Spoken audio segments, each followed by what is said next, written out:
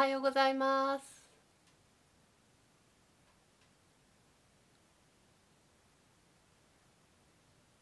おはようございます。ありがとうございます。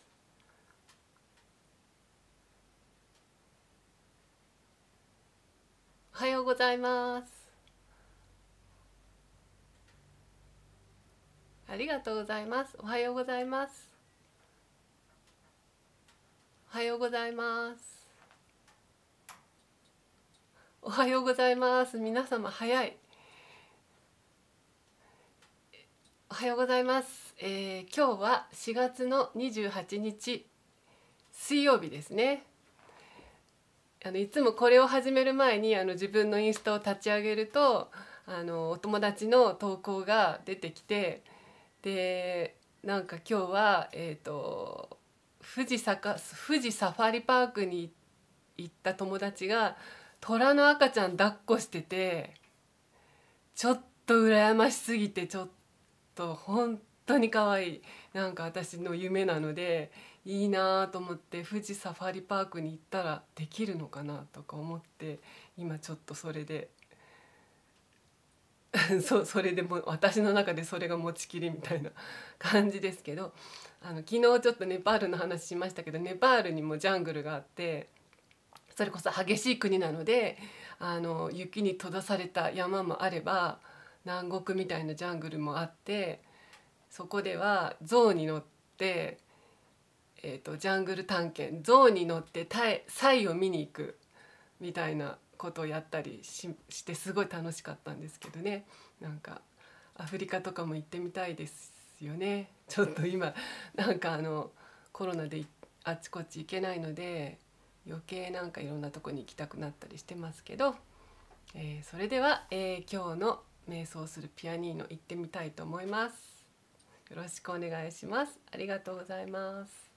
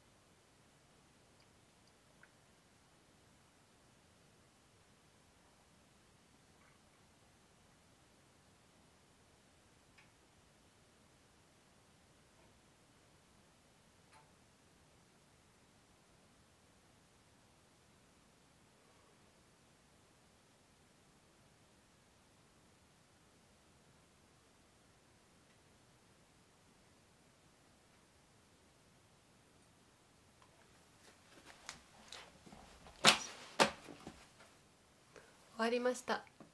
ありがとうございました。えっとネパール続きでちょっとあの思い出したというかあのレッサンフィリリっていう言葉聞いたことあります？なんか私初めてネパールに行った時にあのもう常識のようにみんながなんかレッサンフィリリって言っていてでちょっとなんか何なんだろうと思ってちょっとあの聞いたらいけないのかなっていうかなんかちょっとこう知らないと恥ずかしいのかなみたいな感じだったんですけどあのレッサンフィリリさえあの知ってれば大丈夫だからとかってなんか言われてとにかくそれだけ知っておけばなんとかなるとか言われてで何かと思ったら歌だったんですよね。それで、まあ、国民的な歌というかでもなんか日本だと国民的な歌って例えば「桜桜」なんかわかんないけど別になんか老若男女全員がなんか心の底から好きとかねそういう感じじゃなくてなんかまああの国の歌よねみたいな感じなんだけどそうじゃないからって言ってそれでそれだけなんか覚えていくようにって言われたんですけどあの譜面がなくって、まあ、口伝えみたいなやつだからって言ってテープかテープを CD に焼いたみたいのをもらったんですね。そしたらなんかあの本当にライブライブ録音みたいなあのいろんな雑音が入った街角がなんか誰かが歌ってるのが入っていてでそのメロディーっていうのがあのものすごい素朴なメロディーであの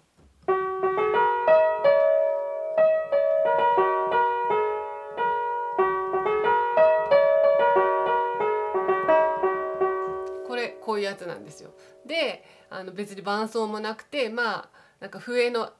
笛の人がいたり、まあ、太鼓が鳴ってたりするようなでもなんかまあなんていうのかな本当に民謡ですよね。でへえへえと思ってそうなんだと思ってでネパールに行ったら本当にみんなこれを歌っていてもう空港に着いたらなんか歌ってるしなんかホテルに着いたら歌ってるしであの伴奏とかないんだけどよく聞いてると、まあ、必ず太鼓の人とかがいてあの大体なんか太鼓の人がいてで笛のおじさんとかが大抵いてでなんかヒャラヒャラって。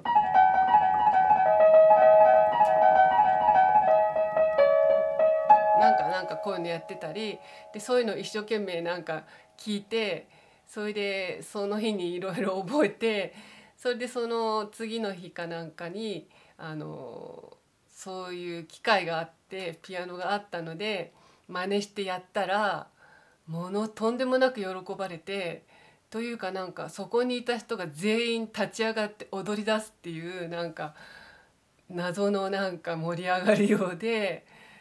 こんなにみんな好きなんだこれがと思ったんですよね。そういうなんかあのそういう歌って日本にはないですよね。それでなんかあの踊りが好きなんですよね。なので偉い人とかこうちょっとこうオフィシャルなっていうか大使がいたりするところでももう大使自ら踊り出すっていうお国柄ででやっぱりなんか、まあ、娯楽がないというかあのそれこそ電気が通ってない時間とかがあったりするので遊びっていうと身一つあれば踊れるのでやっぱり踊るってすごい娯楽なんですよねだから若い子とかに何が何して遊ぶのとか何が好きなのって聞くともう朝5時に起きて踊るとか言うんですよね。そのぐらいやっぱり踊りってもう自分がいればできるからすごいなと思ったのとやっぱりなんかこのなんかこの何？ちょっとすごいお気楽メロディーじゃないですか。であの結構ね自然災害が多かったり過酷な国なのであのあすごくこうなんていうのかな、えーと、ヒンズー教といろんな宗教が混ざってるようなまああのなんていうのかな。とても宗教的な国なんですけどあのな楽観的なんですよね。それこのメロディーのように。でなんとかなるさっていう感じあんまり深刻に考えないでこう歌って踊ってとりあえずなんかトランスっていうか嫌な気分をまあ払拭してでなんとか生き抜いていくなんか知恵なのかなと思ったりしました。なのでちょっとそれなんなんか思いつきですけどピアニーノでこれ弾いてみようかなと思ったんですけどピアニーノだとどうなんだろうなんかあんまりあのちょっとほんわかしちゃうかもしれないけどどうなのかなと思いながらちょっとピアニーノでそのあのレッサンフィリリ弾いてみますね。なんかお忙しい方はどうぞあのお出かけください。あのロックが残すと思いますのでではちょっとレッサンフィリで弾いてみようと思います。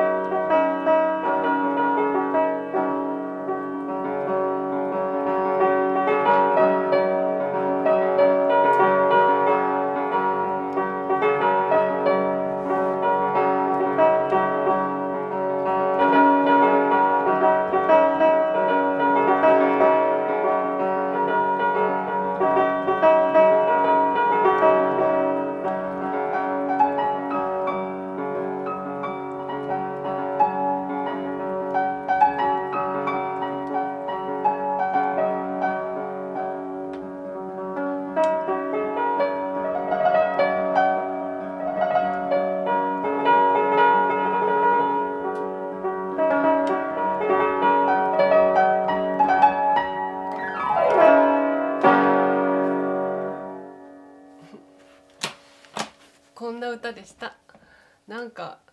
謎に 謎にレッサンフィリリをピアニーノで弾いてしまいましたけれどまああのこういうなんかのんきなというか能天気なというかこういうこういう、うん、意外とこういうのが力なのかなと思ったりしました。なんなんていうのかなとりあえず「ケセラセラ」じゃないけど深刻になってもねしょうがないやっていう感じなのかなと思ってすごいなんかネパールの皆さんに愛されている歌でした。なんかこんなの弾いてちょっと終わりにくくなっちゃったけどあのねあのゴールデンウィークが始まりますけどまあねなんか深刻深刻な事態でもないんでしょうけどあんまり遊べないゴールデンウィークかもしれませんがまあね楽しくのんきに踊りたくなる感じ。そうかもしれないありがとうございます。ありがとうございます。なんかその激しく踊るっていうんじゃないんですけどこの感じが本当にもうヨボヨボのお年寄りも踊れるとかちっちゃい子も踊れるっていうなんかすごい優しいんですよね。あのなんていうのかな。ああのそういう温かさというか。でやっぱりみんなであの踊るとあの仲良くなるんですよね本当に。でだからあのレストランとかでも食後とかだ食後っていうか別に食いろんな食事始めた人もいるしいろんな人が知らない人がいっぱいいるレストランとかでも誰かが歌い出すととりあえずみんななんかとりあえず立って踊るみたいになってでそこの人たちみんな仲良くなるみたいなあのちょっと日本じゃ考えられないなと思ったんですけどあのそういう不思議な。だからいろいろないとなんかそういう人とのつながりがあの感じられたりして逆にあのいいこともあるかもしれないですよね。なんかねあの便利だやっぱり衝撃ですね。ネパールのもののなさと不便さ。で日本がどれだけありありがたいかって分かって帰ってくるけどまた忘れちゃうみたいなね。感じですけど。えー、ではあの今日も 素敵な一日でありますようにで明日からもまたあのねいいなんかね有意義なゴールデンウィークにできたらいいですよね。なんかこういう時だからこそできることってあると思うのであの皆様で楽しいあの日々を過ごしていきましょうなんか変なこと言ってるけどありがとうございましたではまた明日の朝にありがとうございます。では失礼します。